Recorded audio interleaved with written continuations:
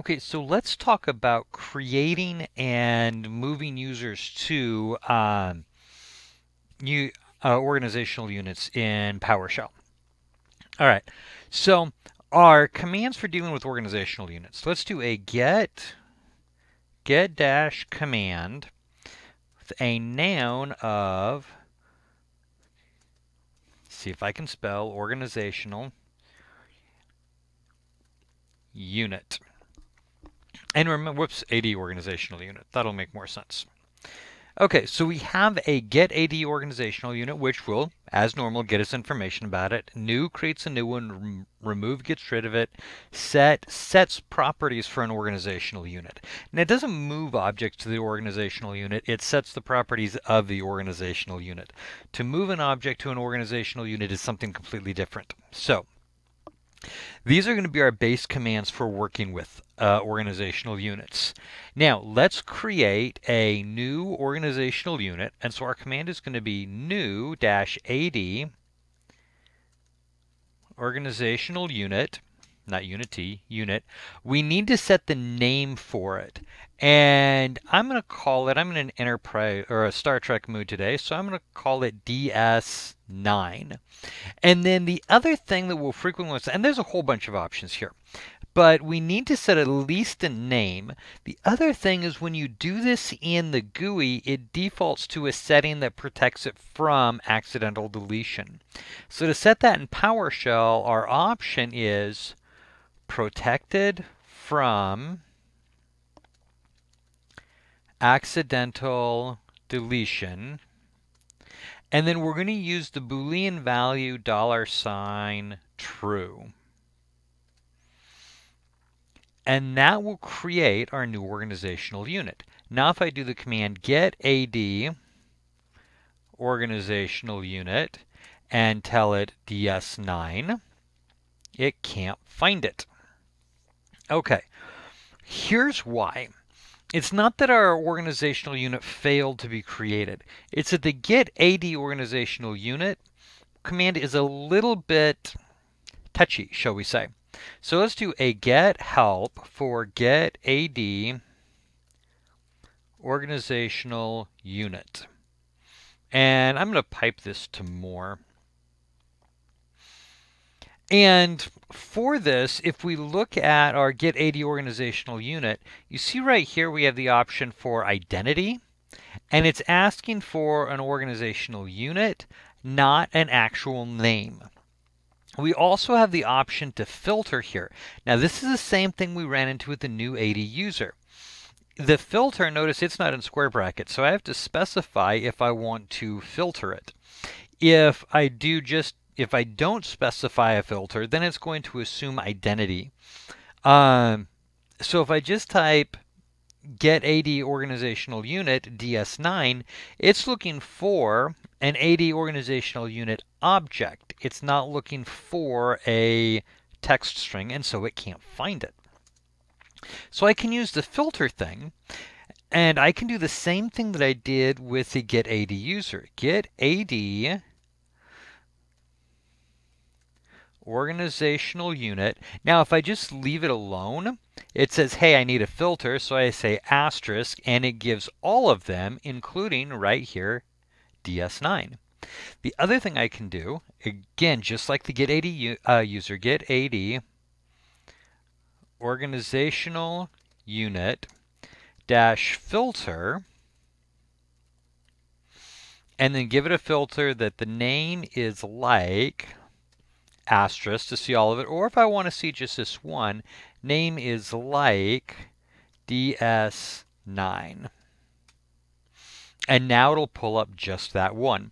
So it does create it for me when I did my, find my old command here, new AD organizational unit DS9. Expand this out a little bit so that all fits on one line. It did create it for me it's just that the Get AD organizational unit is a little touchy. Now, while we're talking about creating new AD organizational units, let's get help on the new AD organizational unit commandlet, and I'm going to pipe that to more, just so that we can look at all of our options here. So new AD organizational unit. We don't have to give it a name. It just will assume that the first thing we try to give it is going to be the name. And that's expecting string value, which is why we could just type DS9. We can also set the authorization type, the city, the country, the credential, a description for it, a display name for it, an instance, who it's managed by, any other attributes, the path, if we're going to specify. Now, this is key. If I want to create an OU inside of an OU, then I have to specify the path where the OU is going to go. If I don't specify the path, then it just puts it right under the uh, domain. In fact, oh, let's come back to that in a minute. You'll see postal code, you'll see protected from accidental deletion, and right here you're going to see it takes the Boolean value, which means we're using dollar sign $true, dollar sign $false. We can specify the server state, the street address. Okay, all of those things are fine. Let's go back to our get AD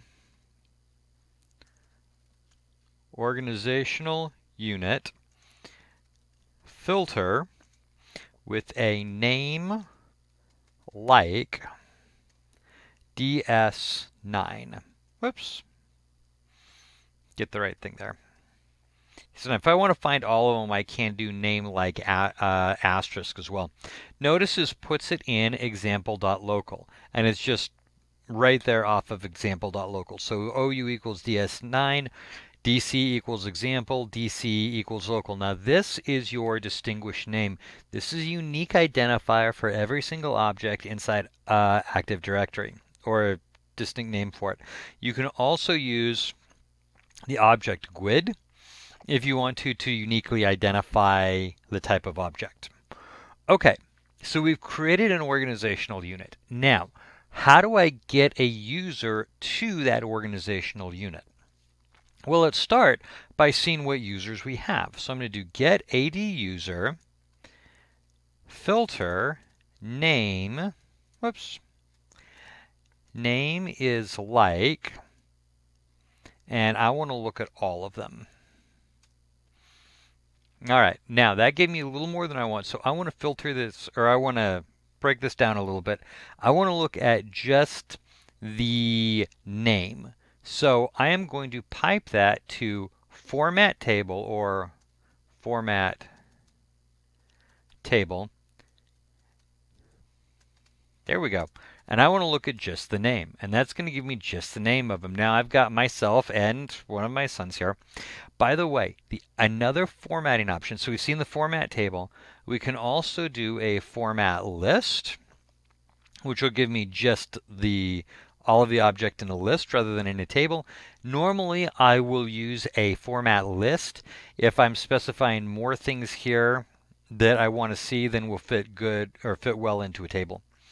The other option is I can do a format wide.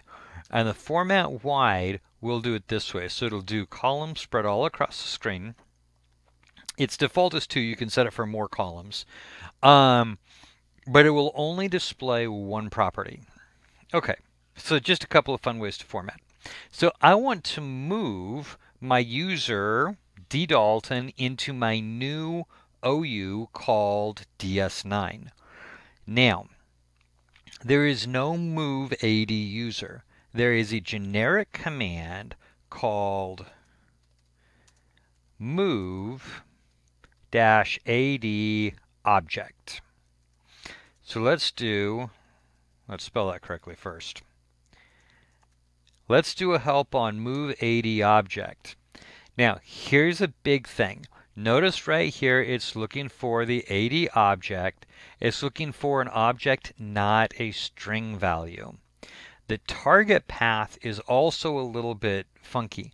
That requires a string value but specifying these can get a little bit tricky because we need the full path for it. So I'm going to show you an easier way to do this, what I think is an easier way anyway. Okay, so here's what I'm going to do. I'm going to start by getting AD user D Dalton. And remember with AD user, I can't do that with get uh, AD organizational unit because I've got more than one parameter set for get AD user. I can't do that with AD organizational unit, but I can do it for get AD user D Dalton. So what I'm going to do is I'm going to assign that to a variable called user. User equals get AD user D Dalton. And that'll take that entire object and store it in that uh, user variable. Now, the other thing I want to do is I need the path for my organizational unit. Now, here's going to be the what I think is the easiest way to do this. Get dash AD organizational unit and I want to specify the filter for the name like and I want to find my DS9 and that's going to find me my specific organizational unit. And now I'm going to take that and assign that to a variable called path. Dollar sign path equals get AD organizational unit. Okay, now all I have to do, let me go and leave this on the screen, is move AD object dollar sign user to dollar sign path. Now, if all works well, I can do a get AD user D Dalton and now I am in ds9.example.local instead of just example.local. Now, for me, that's easier. There is more than one way to do this. Another way that you can do it, to me this is a little more complicated, but you can do move AD object and then in parentheses get AD user filter. Now notice we're using the same command structure. Name is like J Dalton. and close parentheses. Now what happens is this will take the place of that dollar sign user here. And then I can specify where I want it to go. Again, in parentheses, get AD organizational unit filter name like DS9 and close parentheses. Now that is another way to do it. Uh, and basically what, it's just like algebra, what happens in parentheses runs first. So we run this, we run this, we plop those two values into the correct spot on the move AD object. Now if I do a get AD user J Dalton, we're going to discover that he is now in DS9 as well.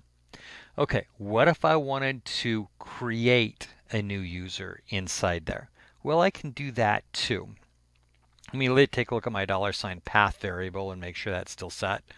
Okay, so let me do a get help for new AD user. Pipe that to more. And we're going to see here all of our options. We've got to set the name, a whole bunch of other object options we can set. But down here, you're going to find dash path. And that's going to be the location, the path where you want this created, or the OU that you want it to create it in. So I've already got a dollar sign path variable already set. So what I can do here is I can create a new AD user. I'm going to create one called S Dalton. And then I'm going to create, I need to create an account password. And remember the account password has to be a secure string.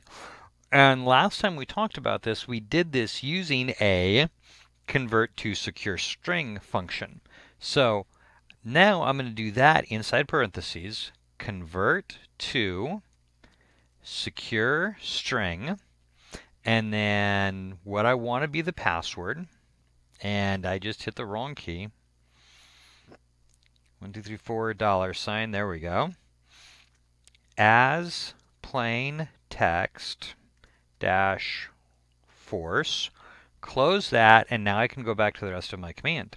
So new AD user S Dalton, set that account password, and I'm just gonna, I'm not gonna set the rest of the stuff. I'm just gonna set dash path and dollar sign path since I already have that set.